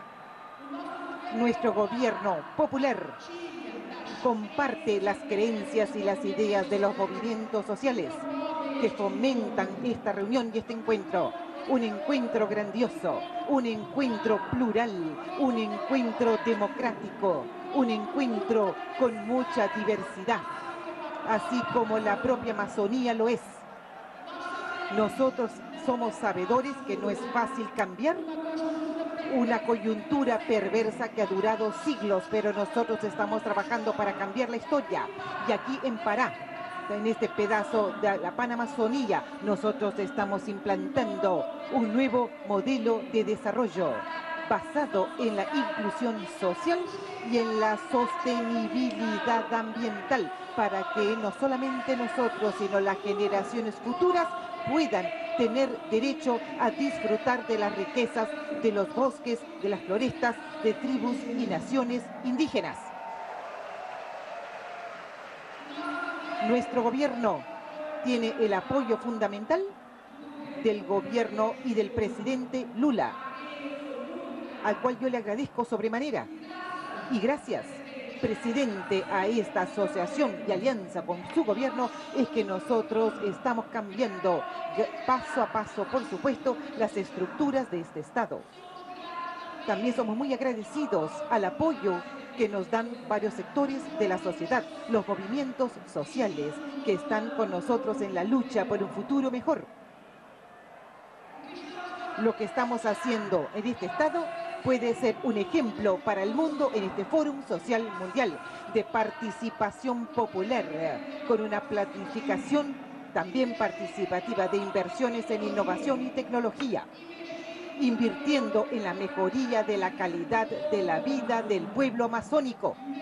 Y el ejemplo claro de lo que nosotros estamos haciendo es el mayor proyecto también del planeta, o sea, un millón de árboles plantados en cinco años que va a recomponer un millón de hectáreas de tierras en este estado. Es la mejor respuesta a la deforestación, es la mejor respuesta al calentamiento global.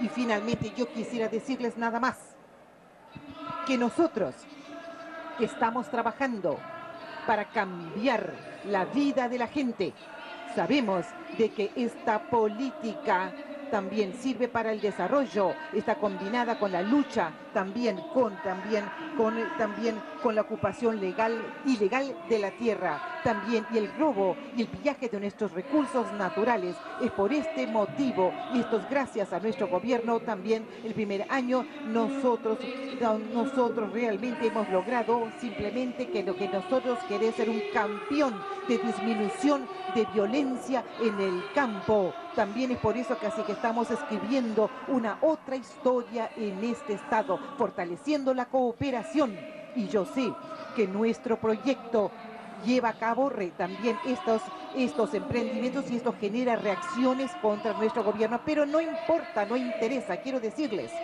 que yo he aprendido desde muy temprano a enfrentar los retos que se nos plantea. Y vamos a continuar con este camino, porque es para esto que me escogieron como gobierna, como gobernadora de este estado. Soy la primera mujer que gobierna un estado amazónico y lo digo con mucho orgullo. Una mujer por primera vez gobierna un estado amazónico. Nosotros estamos fortaleciendo y extendiendo y ampliando la cooperación descentralizada favoreciendo la integración entre los pueblos. Nosotros en América Latina estamos ya no aguantamos más, porque todos los ojos de todos aquellos en todas las partes del mundo que creen que otro mundo es posible, están volcados a nosotros en este momento. No aguantamos más lo de siempre, la presencia aquí del presidente Lula, de Chávez, de Evo Morales, de Rafael Correa también, y de Lugo es el símbolo más grande de esta nueva posibilidad de que otro mundo es posible. Nuestro continente está siendo la cuna de alternativas concretas contra el modelo neoliberal. Y todos, señoras y señores, pueden contar con el aporte y la contribución del gobierno popular para que este proyecto se consolide. Entiendo que la cooperación es una vía que tiene varias flechas, varias manos, todos nosotros tenemos algo a dar, todos tenemos algo a recibir. Esta es la cooperación que nuestro gobierno plantea. Y yo hablo y le digo a Cándido de Libase y a Grasa que le transmiten, transmitan al Comité Internacional del Foro que habrá de decir dónde se habrá de realizar el próximo año el Foro Social Mundial, de que, esta gobernadora que luchó incluso contra aquellos que estuvieron en contra del apoyo al fórum, pero yo no titubeé en apoyar esta maravillosa reunión y este año este Fórum Social Mundial. Nuevamente estoy poniendo a disposición del comité el apoyo de este gobierno para que pueda realizarse de nuevo en, la, en Belén de Pará. Muchísimas gracias. La victoria de la democracia el nuevo mundo es posible, nuestro sueño. Y esto calienta nuestros corazones lo llena de esperanzas, porque estamos escribiendo una historia diferente. Y les mando un fuerte abrazo y todo mi cariño a todos ustedes. Gracias. En este momento escuchábamos a la gobernadora de Pará, quien advierte que se está mejorando la calidad de vida del pueblo amazónico. Presidentes con participantes del Fórum Social Mundial 2009 es el resultado de un largo proceso de discusión en el Consejo Internacional